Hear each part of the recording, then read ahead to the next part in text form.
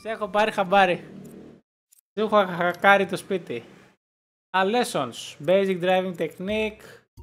Έλα ρε. Πάμε να τα δούμε. Πάμε να τα δούμε τα μαθήματα. Straight line braking. Ωραία. Τα πήρα το πεζό. Αυτό το κάνει με το Subaru όλα. Τι μου δείχνει αυτός. Να πώς θα το κάνω.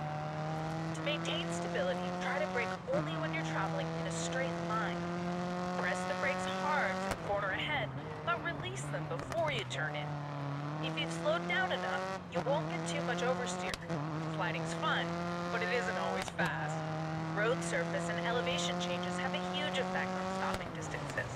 You need to brake much earlier for this downhill gravel turn.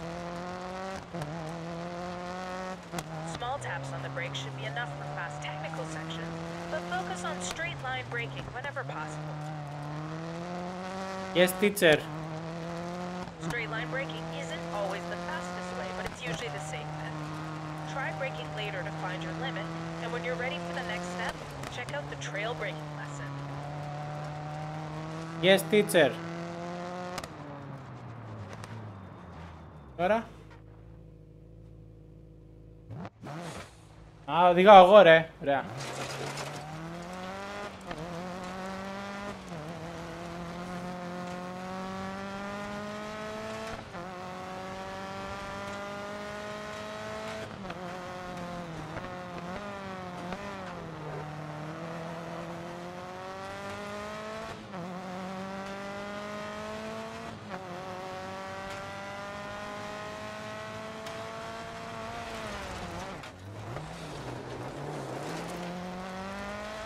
Όπως ακριβώς το έκανε ο δάσκαλος.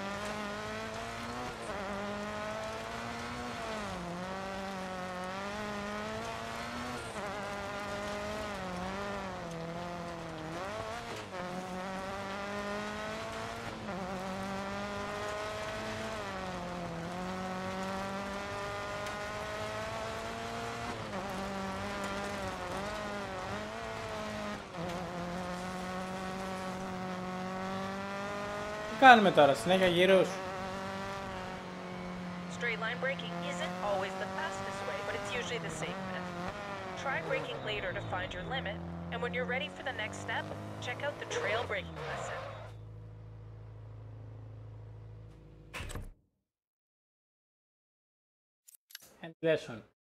Αυτό ήταν, Ακαλά. Πώ. Πώς φαίνεται το game, 22 εθνικός, το game ε, είναι καλούτσικο. Ε, όπως βλέπουμε εδώ πέρα βλέπουμε το Rally School. Διδάσει κάποια πράγματα. Ε, είναι arcade.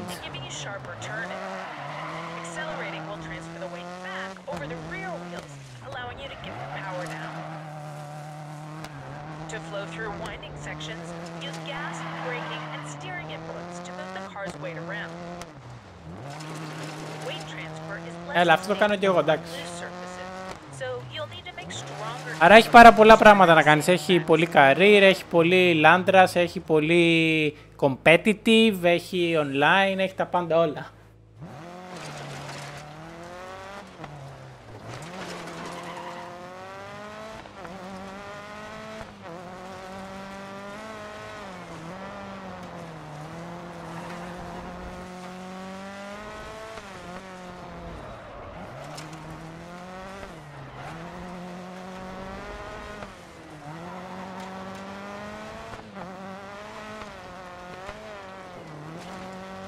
Ωραίο αυτό το rally, ε, το rally school πάντως. Όσοι θέλετε να το κάνετε είναι πολύ δυνατό. Πολύ δυνατό, πάρα πολύ δυνατό. Handbrake usage. Το περίμενες αλλιώς; Όχι, έτσι το περίμενα. Δεν το περίμενα αλλιώς. Απλώς μου αρέσει που έχει... που έχουν λίγο βάρος τα αυτοκίνητα και γίνεται δουλίτσα εκεί.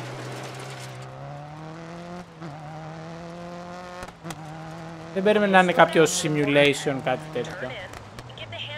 Εμένα σου πω μου αρέσει και το διασκεδάζω πάρα πολύ που παίζω και γι' αυτό θα συνεχίσω να το παίζω μάλλον. Μέχρι να βγει κάτι ενδιαφέρον.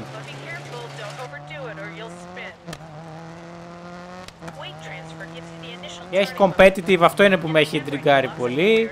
Έχει το career, έχει, έχει ωραία πραγματάκια. Εδώ Rally School μαθαίνει να οδηγάς. Πάμε μωρέ.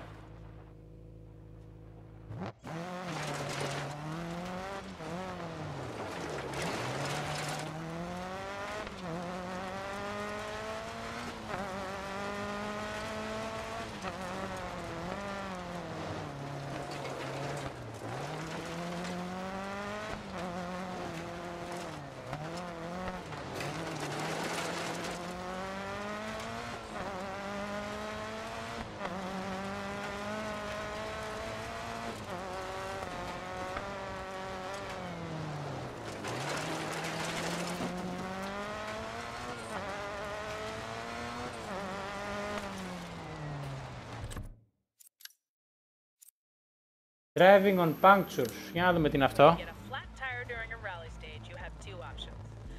Να δώσω ραλίστας. Ratin Pants. Καλώς ήρθες στο stream.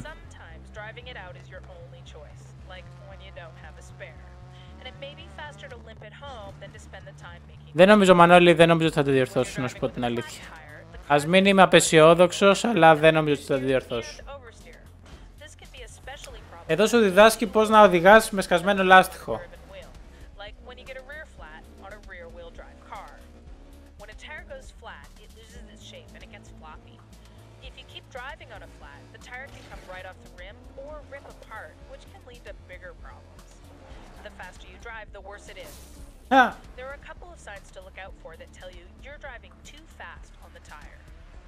First, you'll feel a vibration through the car that gets worse with speed.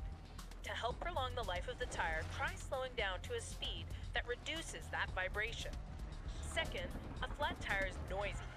That's because it's out of shape and it's rubbing in the wheel arch. Σου λέει και τι νιώθεις στο τιμόνι και τι ακούσε, πολύ καλό.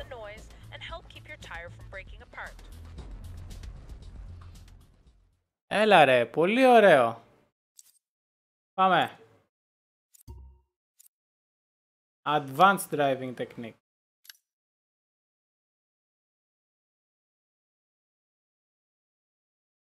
Α, μ' αρέσει αυτό.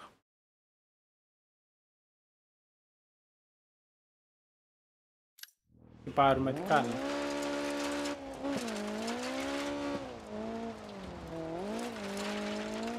Έλα ρε. Throttle control is super important, especially for rear-wheel drive vehicles like this one. When accelerating out of tight turns, use partial throttle to limit oversteer and try to avoid mashing the gas until you've straightened out. Δείτε τη διαφορά οδήγηση που έχει το χώμα με, το, με την πίστα. Δείτε πόσο διαφορετικό είναι. Α, εδώ θα σας δείχνει πολύ ωραία πράγματα στο Rally School. Και πώς να στρίβεται και απ' όλα.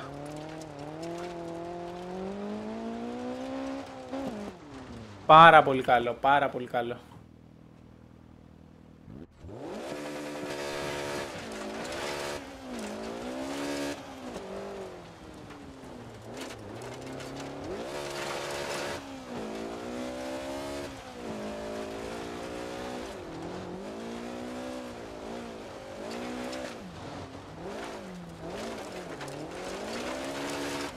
Πώς θα ελέγχεις τα αυτοκίνητα με τον γκάζι. Ειδικά τα ψοκίνητα. Πάρα πολύ ωραίο.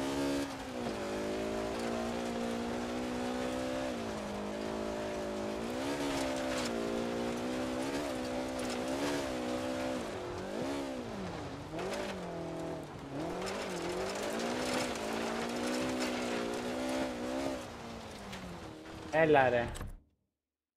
Δυνατό παιδιά. Trail breaking. Για να δούμε και το trail breaking, την τεχνική που κάνουν οι, φορμουλ... οι φορμουλάκιδες και οι πιστάκιδες. Το εξηγεί εδώ. Το έχω πει και εγώ πολλές φορές στο stream, οπότε εδώ πέρα το εξηγεί.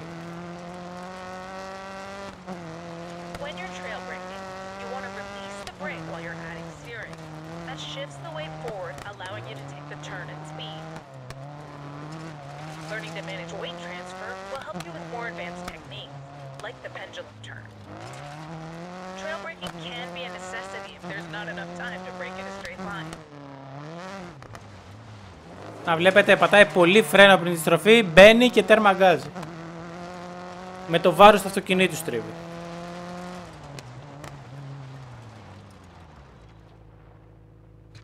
Α, πολύ ωραία φάση. Θα την ανεβάσω στο YouTube αυτό όπως είναι.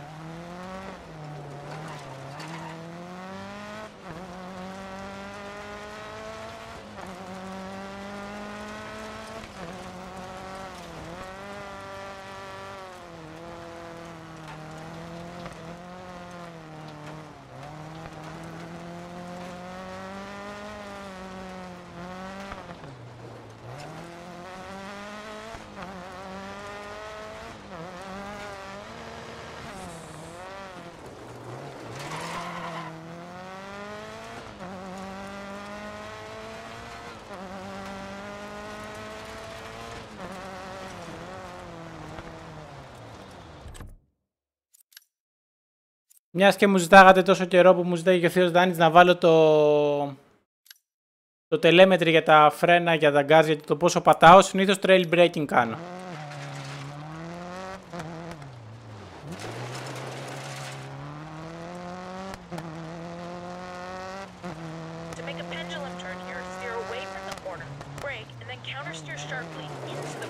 Scandinavian flick.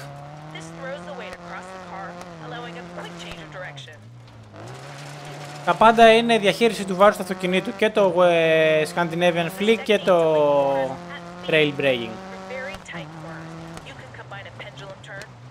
Και αυτό το κάνω πολύ, είτε οδηγάω πισωκίνητο είτε οδηγάω τετρακίνητο.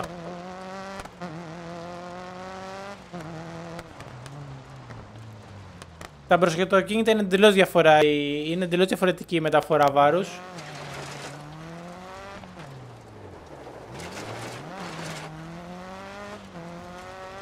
Οπότε το πετυχαίνει διαφορετικά και το trail breaking και το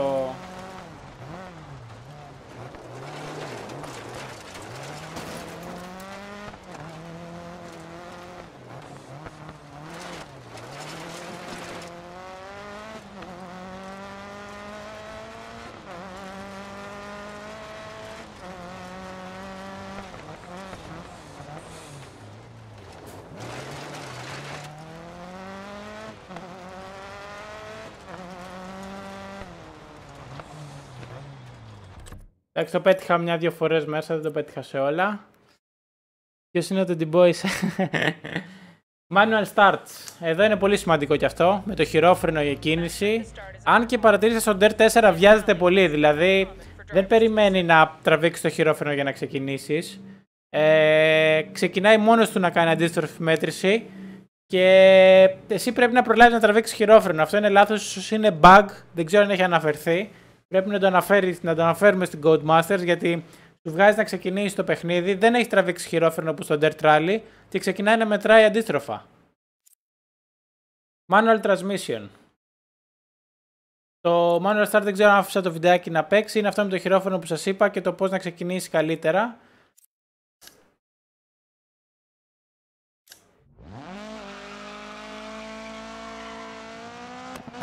Πάμε να δούμε το Manual Transmission.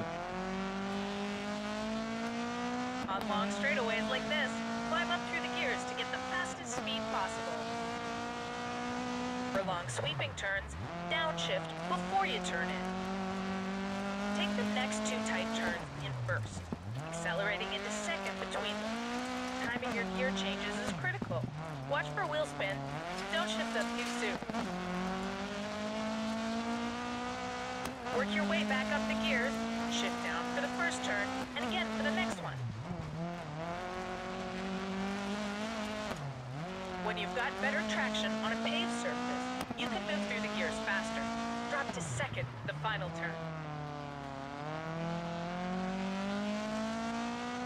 Εδώ εξηγεί πώς πρέπει να αλλάζουμε ταχύτητες, ότι στις ευθείες πρέπει να βάζουμε να εκμεταλλευόμαστε όλο το εύρος του κινητήρα και ότι κατεβάζοντας ταχύτητες δεν πρέπει ποτέ να κάνουμε overrev, πρέπει πάντα να μένουμε στις μεσαίες στροφές του κινητήρα για να στρίψουμε ομαλά και έτσι να προσέχουμε και την είσοδό μας στροφή να είναι αργή και η έξοδό μας γρήγορη χωρίς ε, υπερστροφές. Αυτό είναι και στην πραγματικότητα, ότι θα δείτε ότι όσο κατεβάζετε τις ταχύτητες πιο ομαλά με το αυτοκίνητό σας για να στρίψετε μια στροφή, ε, θα στρίψει πιο ομαλά. Δεν χρειάζεται να κάνεις over ούτε να κατεβάζεις 2-2 τις ταχύτητες. Μία-μία τις ταχύτητες στα σωστά χιλιόμετρα ε, πρέπει να το δουλέψετε και λίγο στο μυαλό σας, να κάνετε matching λίγο τις ταχύτητες με τα χιλιόμετρα στο αυτοκίνητό σας και να θα δείτε ότι κατεβάζει πιο ωραία. Και ποτέ μην βιάζεστε, θα είστε πολύ πιο γρήγοροι αν κάνετε σωστές αλλαγές ταχύτητες παρά να μπείτε με ταχύτητες λάθος σε μια στροφή. Ας πούμε αυτό εδώ που έκανα εγώ τώρα είναι λάθος.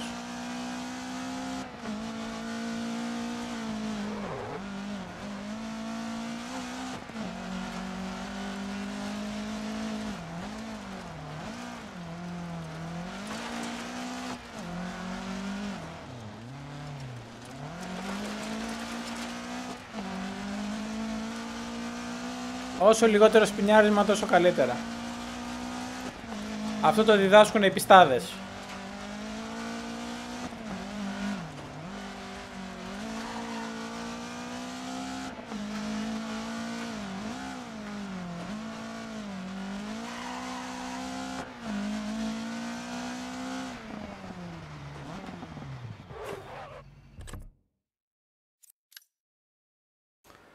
Κάτι ρωτήσατε πώς είναι το... στα μπροστοκίνητα. Στα μπροστοκίνητα, επειδή έχεις μπροστά την ε, δύναμη στους τροχούς και πίσω δεν έχεις βάρος, δεν έχεις τίποτα. Πίσω οι τροχοί γυρνάνε ουδέτερα όπως να είναι. Πρέπει να καθορίζεις τη δύναμη του αυτοκινήτου σου με βάση τη μούρη σου. Οπότε πρέπει να τοποθετείς ανάλογο το αυτοκίνητο. Ε, με τη μούρη μέσα στη στροφή στο Apex, με αργή είσοδο και γρήγορη έξοδο.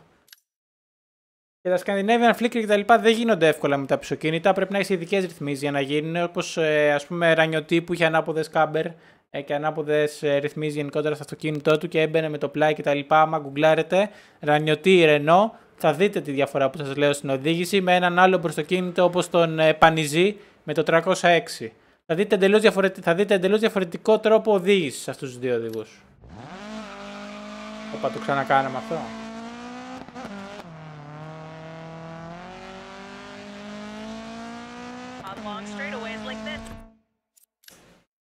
Ναι, ωραία. Τέλος και τα advanced techniques. Πάμε στα drive types. Εδώ θα λογικά θα μας τα εξηγήσει και το παιχνίδι, τα drive types. Προστοκίνητα, ψοκίνητα, τετρακίνητα. Αυτό που σας λέω και από τον Dirt Rally εδώ και δύο χρόνια ότι τα αυτοκίνητα έχουν διαφορετικό τρόπο οδήγησης και διαφορετικό τρόπο συμπεριφοράς. Πάμε να τα δούμε εδώ πέρα.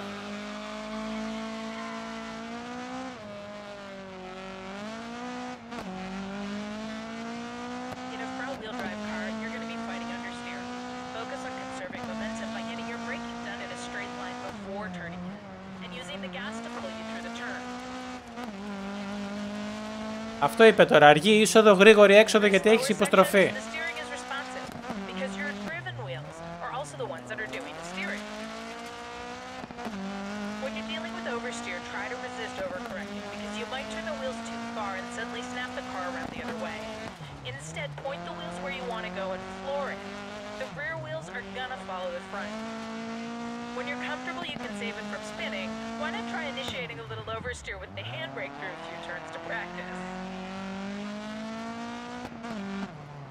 Σε αυτό το αυτοκίνητο, στα μπροστοκίνητα το Scandinavian Flick δουλεύει εντελώς διαφορετικά. Πρέπει να το βάλεις στο αυτοκίνητο μέσα και να πατήσεις τέρμα γκάζι για να φύγει. Επειδή οι τροχοί που στρίβουν είναι και οι τροχοί που έχουν τη δύναμη. Οπότε πρέπει να προσέχεις με τις στροφές σου, με το πώς στρίβεις, για το πώς ε, θα διαχειριστείς ε, το oversteer, την, ε, το σπινιάρισμα ουσιαστικά.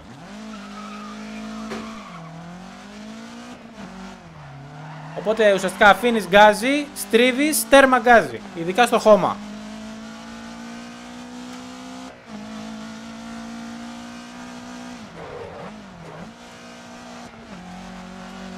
Για να μην παλεύεις με το σπινιάρισμα να στρίψεις.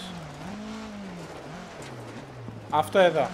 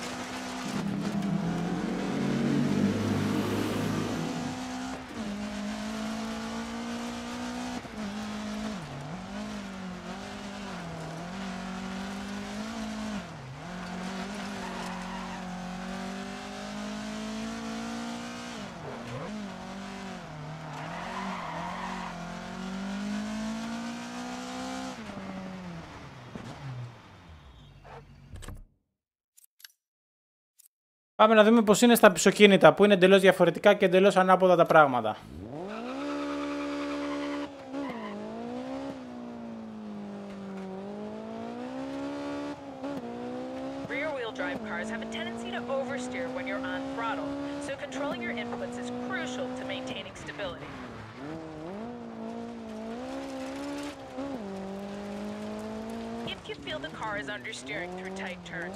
You can give it more gas to bring the back end around, but be ready to countersteer.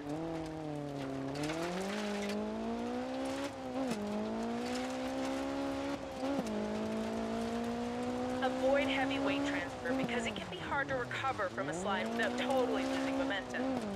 Try to keep your drifts to shallow angles and carefully manage your inputs to control the amount of oversteer.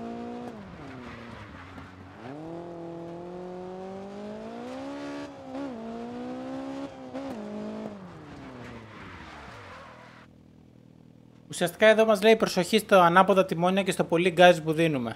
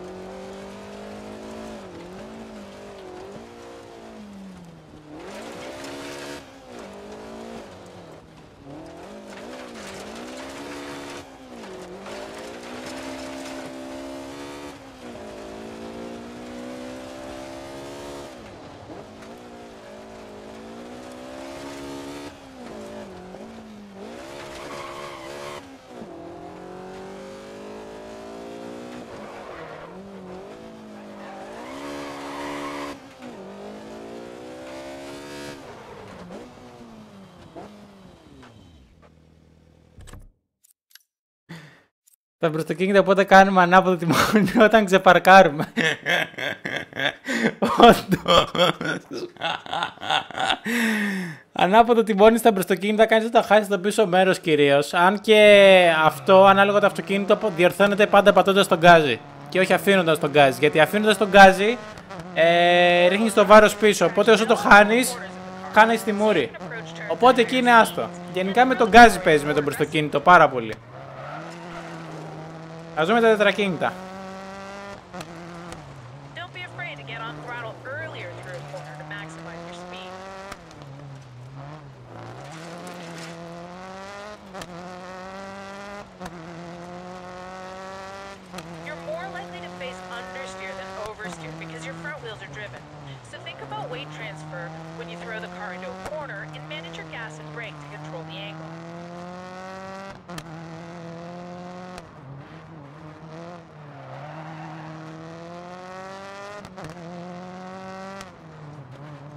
Εδώ μας μιλάει για την οδήγηση στο τετρακίνητο αυτοκίνητο όπου ε, πρέπει να προσέχουμε η μπροστινή μας οδηγή, το, την μεταφορά του βάρους έτσι ώστε η μπροστινή μας ε, τροχή να έχουν ε, σωστό grip και να μην σπινιάρουν και να μην έχουμε μούρι ή understeer αυτό που λέμε υποστροφή για να μπορεί να στρίψει το αυτοκίνητο. Οπότε ουσιαστικά weight transfer και στο, πισω, και στο τετρακίνητο ε, και με νωρίτερα γκάζι γιατί είναι τετρακίνητο και θα φύγει. Δεν είναι πισωκίνητο να σου γυρίσει απότομα. Οπότε αν το τοποθετήσει σωστά και πατήσεις τέρμα γκάζι, φεύγει. Όπως κάναμε εδώ πέρα.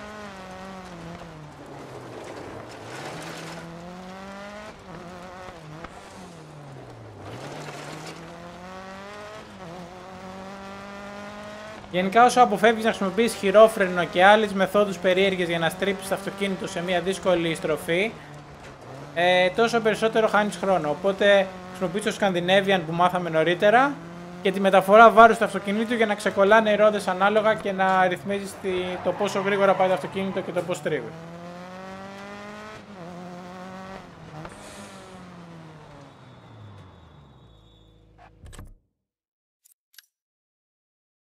Τρία στα τρία και εδώ. Πώς έχει ακόμα, εντάξει. Disciplines, λογικά εδώ έχει κανόνες για το Rallycross. Δεν χρειάζεται να τα δούμε αυτά. Ε, track features, να δούμε τι λέει jumps. Ωραία, θα δούμε πώς διαχειριζόμαστε λίγο τα jumps και τα splashes και, τα, και τις διαφορές του δρόμου στο road camber, δηλαδή πόσο κλίση έχουν και τα λοιπά. Σημαντικό πράγμα γι' αυτό.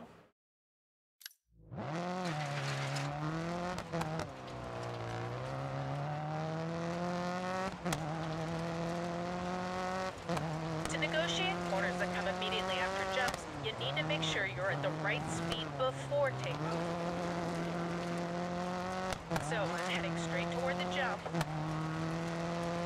I'm watching my speed, and I'm making sure I can land in the right place to take the corner without hitting the red markers.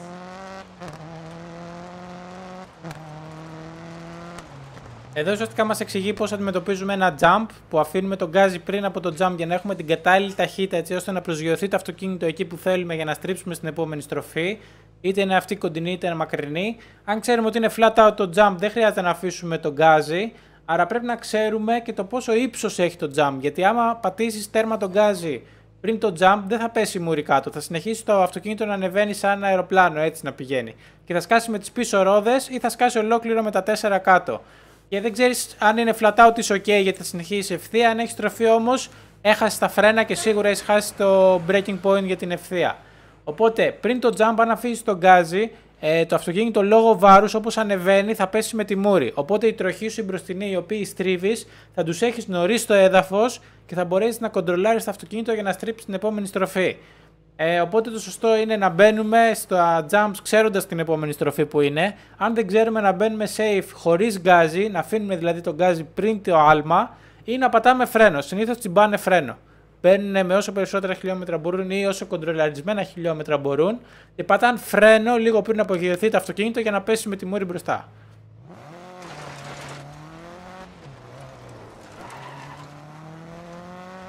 Το να αφήσεις τον γκάζι είναι το απλό πράγμα, γι' αυτό διδάσκεις το παιχνίδι αυτό.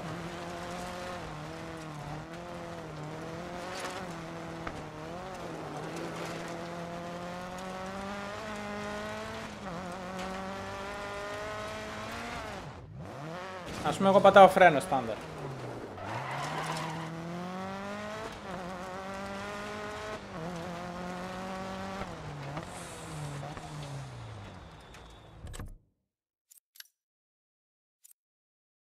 Πάμε να δούμε τα Water Splashes, τα οποία τα έχουμε δει πάρα πολύ σε αυτό το παιχνίδι. Όχι τόσο στο Dirt Rally, αλλά τόσο πολύ στο Dirt 4.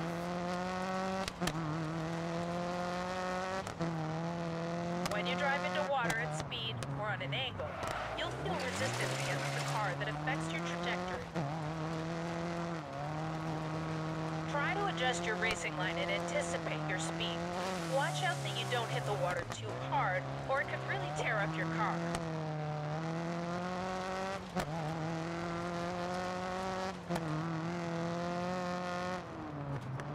Εδώ για το νερό μας λέει ότι αν μπαίνουμε μέσα flat out στο νερό θα έχουμε πρόβλημα στο να βγούμε οπότε πρέπει να μπαίνουμε όσο πιο ομαλά γίνεται για να φύγουμε όσο πιο ομαλά γίνεται. Δεν θέλει επιθετικότητα γενικότερα μες στο νερό και γενικότερα σε αυτές τις ε, λούμπες με νερό. Και θέλει να έχουμε, να έχουμε τοποθετήσεις το αυτοκίνητο νωρίτερα από, την, ε, από το νερό έτσι ώστε να ξέρουμε την αντίδρασή του καθώς το χάνουμε γενικότερα και το νερό είναι νερό. Οι ρόδες δεν πατάνε καλά.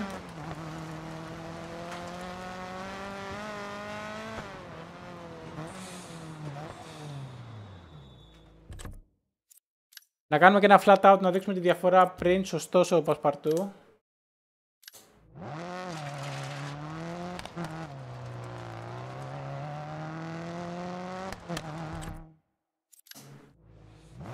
Να κάνουμε και ένα flat out jump για νωρίτερα, να δείτε τη διαφορά.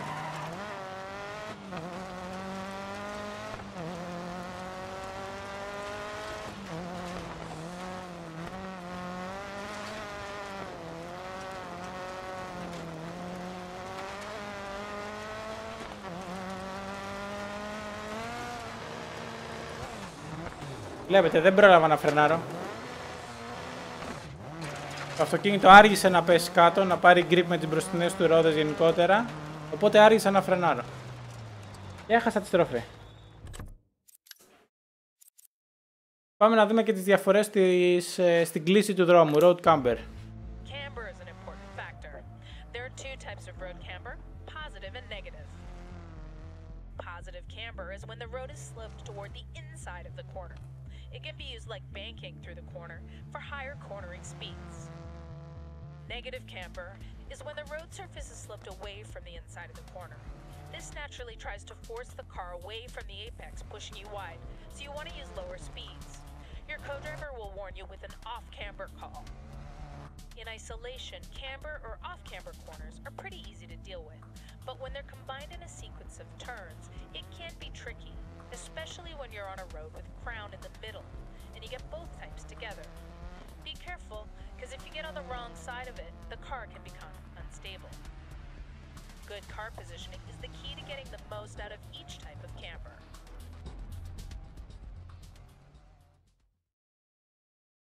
Εδώ μας μίλησε λίγο για τις ε, κλήσεις του δρόμου, την, ε, την προς τα μέσα και την προς τα έξω σε μια στροφή ε, που θα αντιμετωπίσουμε και ότι παίζει σωστά και παίζει ο τρόπος τοποθέτησης του αυτοκινήτου για να πάρει σωστά την, ε, ε, τη στροφή σε, μια, σε ένα sequence στροφών, σε μια συνέχεια στροφών.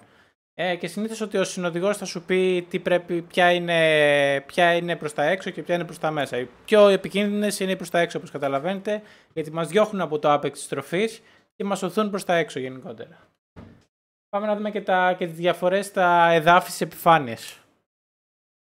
Που έχει εδώ πέρα, loose surfaces για το loose gravel λογικά.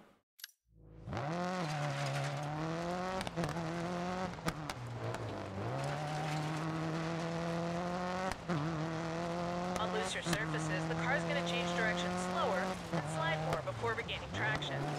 Adjust your racing line to compensate for condition. To regain traction when the car is sliding, try to balance the throttle to limit wheel spin and regain traction on a loose surface. When you're sideways, you can adjust your slip angle with the gas and the brakes.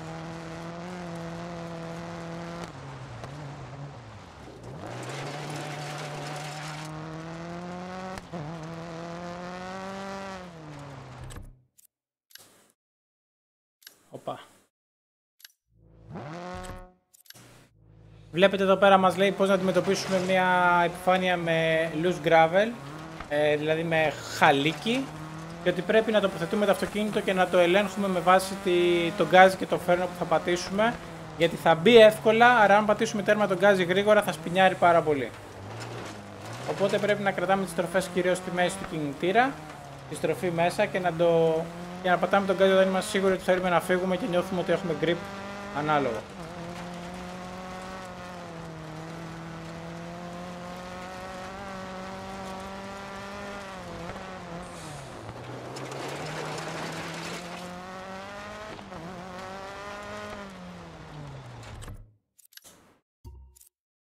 Πάμε να δούμε στο δύσκολο χώμα.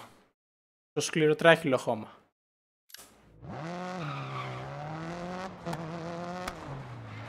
Ή όχι, θα μας δείξει άσφαλτο. Θα μας δείξει άσφαλτο μάλλον. It's much harder to break traction on a paved surface compared to a loose one. Try to push as hard as you can using smooth, sweeping racing runs to maintain speed through the turn. Bit of tire squeal is a good sign that you're pushing the car to its limits, but if you feel the wheels starting to slide, try to ease off.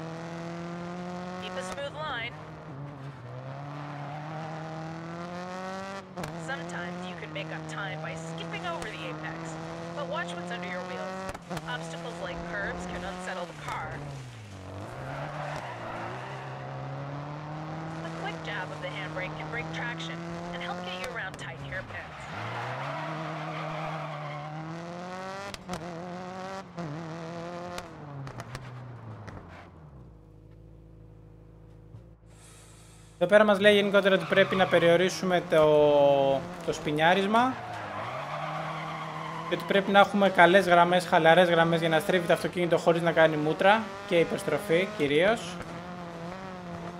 Οπότε σωστή τοποθέτηση, σωστό φρενάρισμα και εδώ πέρα μπορείς να παίζεις λίγο με το φρένο για να φέρεις το αυτοκίνητο, άρα ελάχιστα. Γιατί αυτό θα σε κάνει να χάσεις το apex περισσότερο. Οπότε σωστές γραμμές, σωστά breaking points για να έχεις λίγο σπινιάρισμα. Και λίγο γλίστριμα, έτσι.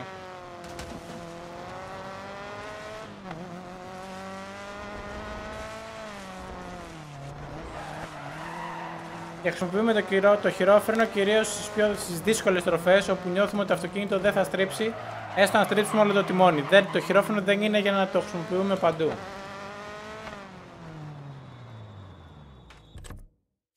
Κάνεις χρόνο με αυτό. Α, mixer faces όπως του Rallycross. Πάμε να δούμε τα και χώμα και άσφαλτο παρέα.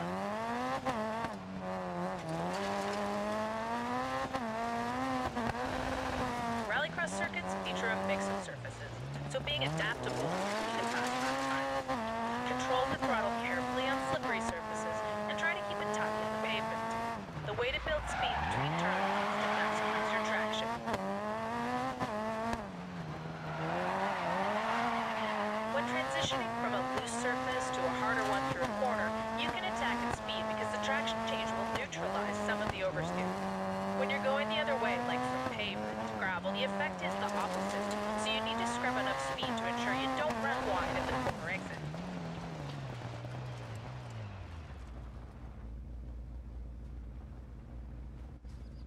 Εδώ μιλάει για το πώς να αντιμετωπίζουμε τις μπερδεμένες επιφάνειες όπως το Rallycross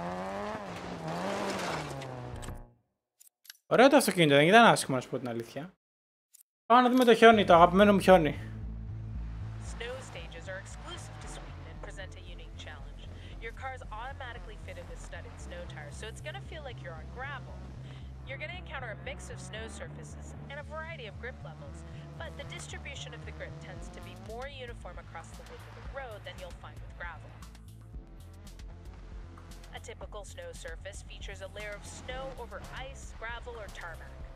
Your tires are going to naturally sink into the snow, making a big roost behind the car. A buildup of snow against the side of the tire gives you some resistance to slides and the illusion of a grippier surface. That resistance will subtly slow your forward motion, too. You'll also find patches of compacted snow, a much harder surface the tire doesn't sink into. It's gonna feel like it has less grip, but it's actually faster. When you hit slushy snow, you'll see the color of the underlying road surface showing through the racing line. Grip's gonna be inconsistent across the road as you transition between slush and snow, so your best bet is to stick to the worn tracks whenever you can. Built up along the side of the road are the famous Swedish snowbanks. You gotta watch out, because they'll grab the car if you hit them too hard, and that'll be the end of your rally but you can use them too. If you drag the tail of your car through them, they'll help keep you straight on corner exits. Careful though, there's a fine line between brushing the bank and digging in, which makes this one of the most advanced snow driving techniques you can master. Μας έδειξε κάποια πράγματα για το χιόνι, δεν νομίζω θα μας αφήσει να οδηγήσουμε, όχι. Ε, για το πώς πρέπει να συμπεριφερόμαστε στο χιόνι και στα snowbanks. Να, θυμίσω, να θυμίσω από τον Dirt Rally ότι αν χτυπήσεις τα snowbanks με τη μούρη θα σε απορροφήσουν μέσα. Ε, και αν τα χτυπήσεις με τον κόλλο, πιθανότατα να σε βοηθήσουν, αλλά και εκεί θέλει με το μέτρο. Ε, γιατί τα snowbanks είναι κάτι σαν σφουγγάρι, οπότε όσο περισσότερο αυτοκίνητο ακουμπάς πάνω στα snowbanks, τόσο περισσότερο απορροφάει μέσα του όλο αυτό το πράγμα που το ακουμπάει. Οπότε προσοχή με τα snowbanks και τις διαφορές στο χιόνι στις, ε, στα διαφορετικά, στις διαφορετικές επιφάνειες του χιονιού θέλει προσοχή. Άλλες μοιάζουν με ε, χώμα, άλλες μοιάζουν με άσφαλτο, θέλει προσοχή γενικότερα. Πάμε και για τον καιρό.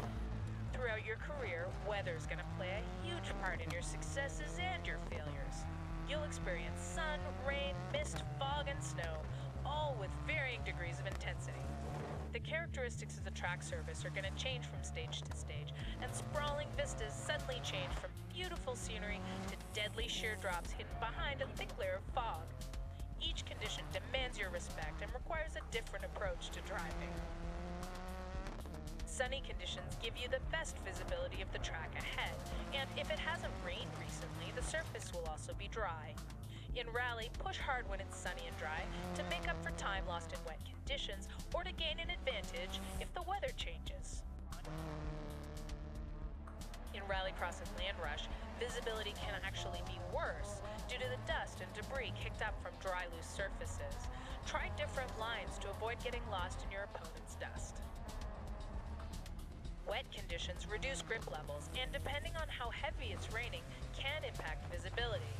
In Rally, put your faith in your co-driver in low visibility conditions and adjust your attack to compensate for the reduced grip.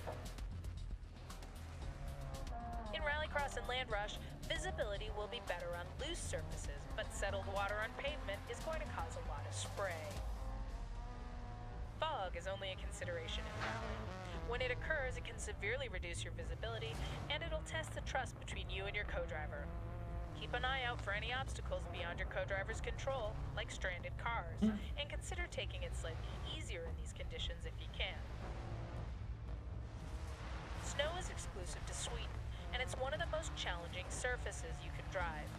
Your car's going to be surprisingly capable in its snow setup, but the snowbanks and overplow at the side of the road can be punishing if you get offline. Managing wheel spin with careful throttle control is key to maintaining traction. If snow is falling as you drive, visibility can be a challenge, so consider when to push and when to play it safe. Γενικότερα μας μίλησε για τις διαφορετικούς ε, καιρούς που μπορεί να επικρατήσουν σε μια ειδική διαδρομή ε, και πώς πρέπει να τις αντιμετωπίζουμε γενικότερα με προσοχή και με σεβασμό. Ειδικά στο, στην ομίχλη πρέπει να, πρέπει να εμπιστευόμαστε στο συνοδικό μας και διάφορα άλλα τέτοια. Πάμε να δούμε και τις νυχτερινές ειδικές. Driving at night stage can be one of the toughest challenges in rally.